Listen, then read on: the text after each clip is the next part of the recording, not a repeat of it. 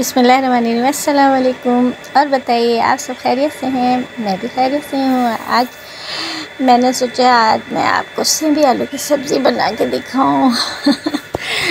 और बना तो सभी लोग लेते हैं, पर क्या थोड़ी अलग डिफरेंट बना रही हूँ मैं। तो मैंने बनाई है सिम्बी आलू की सब्ज़ी और इसको आप भी खाएँ और अपने घर वालों को भी खिलाएँ। बना के बहुत टेस्टी लगती है, बहुत अच्छी लगती है। मुझे तो बहुत पसंद है। अब आप लोगों को पता नहीं, पसंद है कि नहीं है।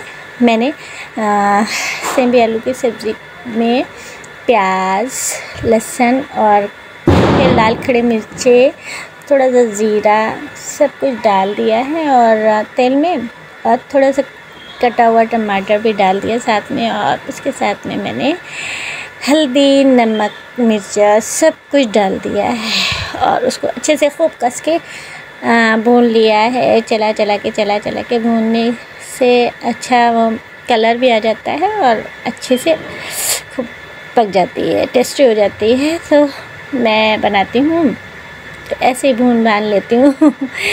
तो मैंने बनाई सब्ज़ी तो भाई मैंने तो बहुत टेस्ट लेके खाया।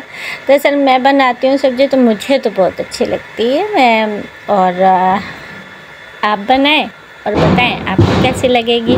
फिर मैंने सब्ज़ी में डाल दी है मसाले में और इसको खूब कस के चला दिया है, मिक्स कर दिया है। मिक्स करने के बाद मैंने इसको ढक के रख दिया है।